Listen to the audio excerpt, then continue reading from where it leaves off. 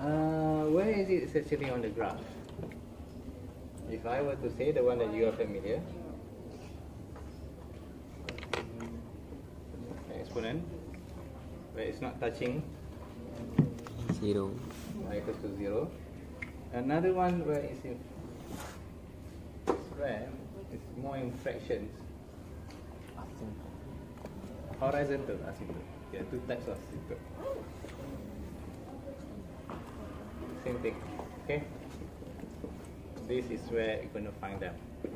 And as you can see, this is 1 over x. Another color. So you can find asymptote in two types of situation where one is in fraction, one is in the, if I were to say it's a number power,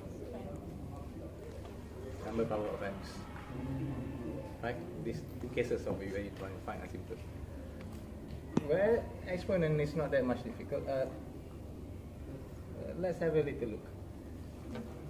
If you see exponent, not much you can say about it. The horizontal for exponent. It happens when we, we need to test ourselves. When x approaching infinity, and the other one is when x approaching negative infinity. Right? The thing with here, not much we can do. e power of infinity, as you can see on the graph, is get higher and higher and higher. And where will it reach? It will reach infinity. It goes somewhere really, really far and use your, use your own imagination for up there. So it doesn't have limits, it goes up. But for when x approaching negative infinity, it's different, it's going from this direction. It just get getting very, very near with the y equals to zero. Yes, that's about asymptote. Asymptote is just getting very, very near, but it's not really reached there. It's like your your friend zone, crush zone stuff, right? So another thing that you should recount about it is that if of our power negative infinity is near to zero, very near to zero, and only when you get yourself a number that is your asymptote. Right? Asymptote is the number. You can see asymptote is not infinity. Understand? So in this particular case, we only have one side of infinity, whereas that side. So why the horizontal asymptote, as I've mentioned in the graph last time, if horizontal is y, if vertical is x. This is for the case of exponent.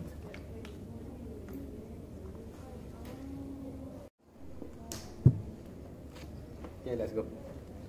Okay, like for fractions, this is what our normal calculation comes in. I can give you something like this, x over 3x squared minus 1.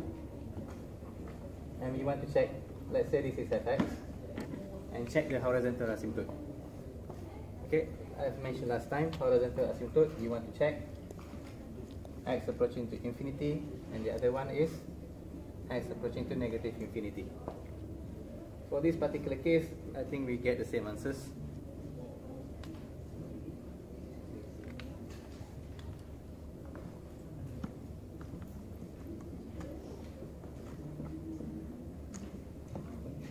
How do we proceed?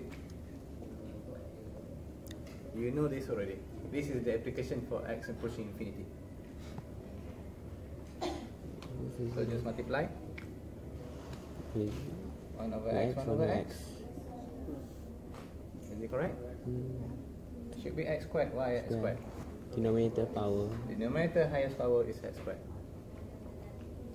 So we get ourselves 1 over x over 3 1 over x squared. Then you substitute the limit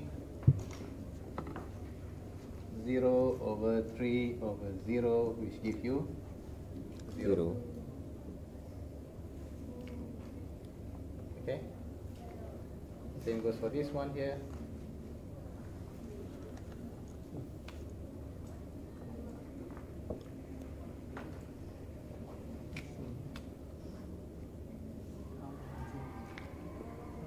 Same for this one. We multiply with 1 over x squared, 1 over x squared. For- For this case, they give you the same answers for sides. When do they don't give you the same answer for both sides, sir? Such as example when there's modulus or when there's a different function for left and right.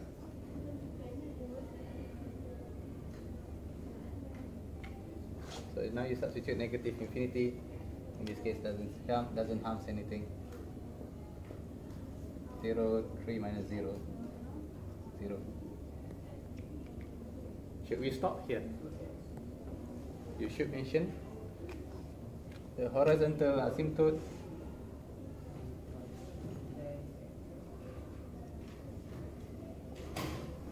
horizontal asymptote is what? Y equals 0. y equals to 0. What happens if I just write down 0? No. You lose your marks. Okay, be very, very careful. Let me try to see whether there's one more example. Well, that's an easy one. Aha, I think this one sounds more interesting. Let me first check whether we can solve it first. what about if this?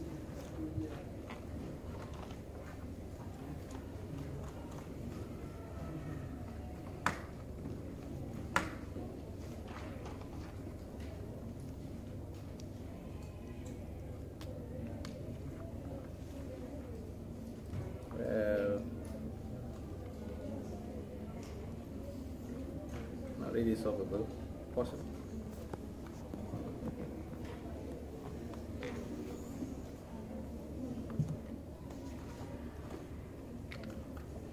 You have another black? Yeah, the end of the semester already, one more.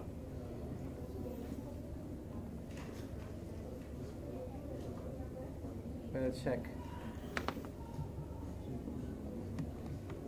Let's say this.